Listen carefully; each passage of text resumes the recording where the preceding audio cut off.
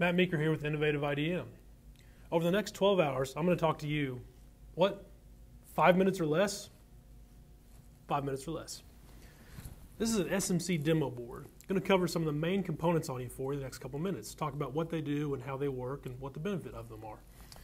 Uh, starting up here, we have just a basic sort of filter regulator combination. SMC has a broad line of filter, regulator, lubricator combinations. Here we have a water separator that's going to help get all the, all the, the main water particles out of the line. After that, we have a regulator with a filter built in. Now, the nice thing about this regulator, uh, sorry, this filter regulator combination, is that of course it does have the regulator built here right on top. Simply pop up the top and you can twist to regulate your air pressure. The gauge built in. There is a different gauge that has a much larger display if you'd like the larger display gauge. Some people like this, this gauge because it has less profile sticking out, less likely to ever get knocked off by someone walking by. In this case, the actual bowl is a two-piece polycarbonate bowl. Now, the older style bowls, and some of the competitors still have bowls that have a metal outside with a small view window or a small slit. The nice thing about the polycarbonate bowl is that it's viewable from the full 360 degree range, but also if it ever gets impacted or hit, it won't actually stay deformed like a metal, metal bowl would, like a metal exterior bowl would. So this two-piece polycarbonate bowl actually has a much better lifespan uh, and is easier to view all the way around than the older metal style bowls were. Now coming out of that, we then have what's called a VHS. This is very nice because it allows us to be compliant with OSHA regulations on power lockout and power isolation. OSHA rules say that all sources of power must be locked out. Pneumatics, air, one of those types of power. How do we do that? you can see right here it actually says supply right there in yellow and the air is coming through it. When you turn it, it actually dumps the air back through the exhaust. Now you can put a silencer here or order them with silencers built in so it isn't that loud exhaust noise. But when you put it on exhaust, it dumps the air pressure through and it blocks air pressure coming this way. So the supply is cut off and the air in your machine and your system gets dumped back through it. It also has lockout points on both sides. So you can now come through and actually lock out, tag out the air just like you have to power. This means you are now actually isolating your machine for safety. Because this is such a useful device, some people actually put this on this side of the filter regulator lubricator combination, and they'll put it on this side so they can turn it off, lock it out, and now service pneumatic equipment. You know, right now we still have line air pressure coming through up to this point, so you can't really stop and service this gear here. Well, if you don't have another valve upstream and you want to be able to lock out to do maintenance on the airline, you might put this on this side of the gear. Not a problem.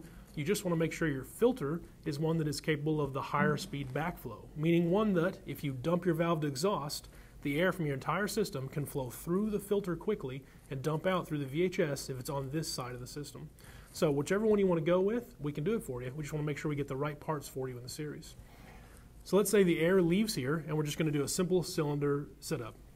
It comes to a valve. SMC has many, many valve setups. We can do them on large manifolds with remote I.O., on manifolds with different types of communication protocols, EtherCAT, whatever you need. Uh, or we can just do something like this with a simple connector. So my PLC can be sending a signal, 120 volts, uh, 24 volts DC, whatever you need. We can make that work. And that controls the actual valve right here. That valve is going to be supplying air to the extend or retract side of the cylinder. So this is the extend side. When you supply air to it, the cylinder rod will extend. This is the retract side.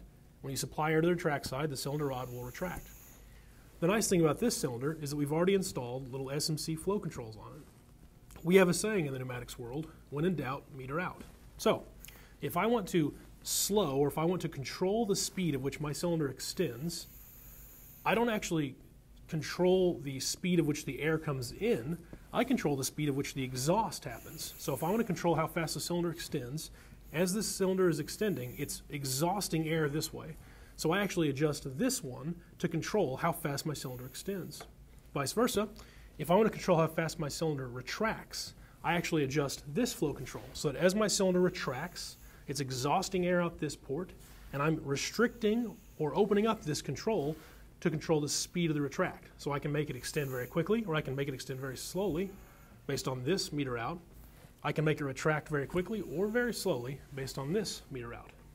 SMC has several offerings. The one you see here actually has a little display on it. So as you turn it, there's actually a little number, a little dial indicator that's changing values as you turn it. Makes it very easy to remember. You know that you can set that thing to a 3 for the, the speed you want. Maybe a different product needs to run at a 7. Not a problem. As you turn it, that dial indicator changes, and it's easy for anyone to be able to set it. You can even click it down to make it easier so no one actually hits it by mistake. Of course, we can have these with different size ports on them to whatever plumbing you need. If you have any questions about any SMC offering or anything else from Innovative IDM, please remember to give us a call for your next automation project. Thanks. Have a good day.